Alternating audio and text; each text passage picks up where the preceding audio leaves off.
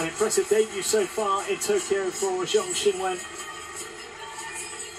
19-year-old getting a straight set victory over Misaki Doi in the opening round. And now looking to book a quarter-final spot at this event. From Paula. Paula Badosa, the world number four and top seed this week in Tokyo. Playing her first match of this event. Like her opponent, making a debut here at this tournament. Hasn't found her best form in recent months. But hoping to finish the season strongly and consolidate her place in the world's top five.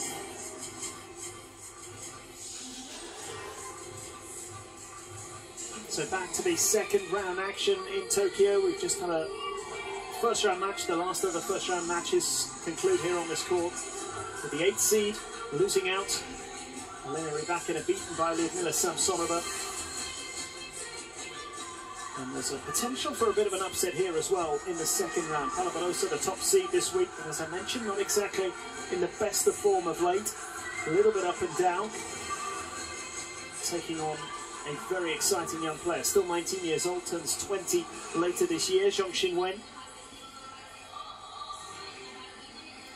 Career high ranking this week of 36. She's shown this year what has been a breakout season for her, she is capable of some really impressive tennis.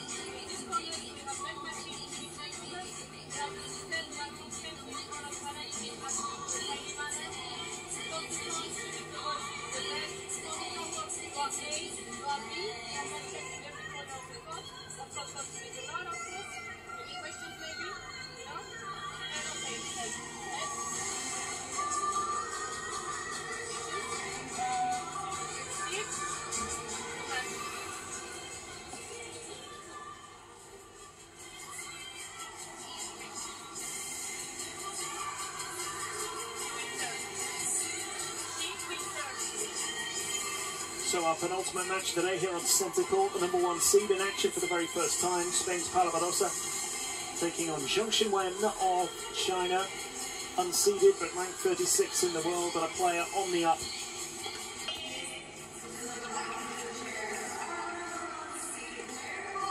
Paula has uh, found things a little tricky of late. Ranked number four in the world, has uh, got herself up as high as number two. Three career titles for the number one seed.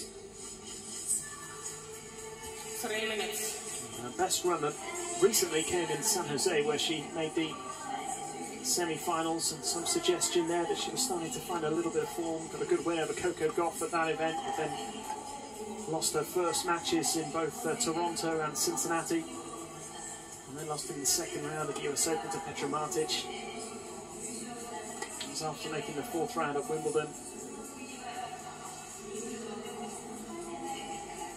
Was only made it to the quarterfinals in uh, one event since losing to Sabalenka in Stuttgart back in April.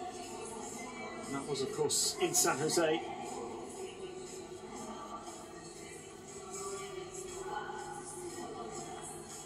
So a big test here for the number one seed to try and rediscover some of her best form. She certainly could have had an easier draw in the uh, second round of this event because Zheng Qinwen is a player that I think we're going to be seeing a lot more of at the big events over the next couple of years. She doesn't turn 20 until uh, next month. Currently ranked 36 in the world. New career high ranking as of this week. Looking to make the uh, third quarter final of her career. She's a semi finalist in Melbourne right at the start of the season. Prior to the Australian Open, lost to Simona Halep. Reached the uh, final four there as a qualifier and maybe a, her best run so far, or one of her best runs certainly came in Toronto where she made the quarterfinals. Also a fourth round appearance at the French Open where she really pushed Iga Swiatek. Nearly caused a huge upset there. She won the biggest title of her career back in June in Valencia, 125k title. She's chasing her first tour level title. She also uh, owns an 8 0 record in ITF finals as well. Never lost the final at ITF level or higher so far, 9 out of 9. And certainly had some uh, standout runs in what is uh, definitely a breakout season for her.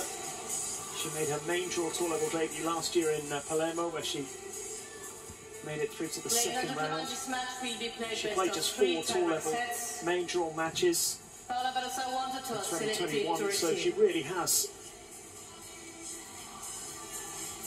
made remarkable progress over the last year. 14 months, 15 months or so since that tour level debut. Finds herself in the world's top 14. her talent is no secret anymore. Paula Badosa will be more than aware of just how difficult this match could be.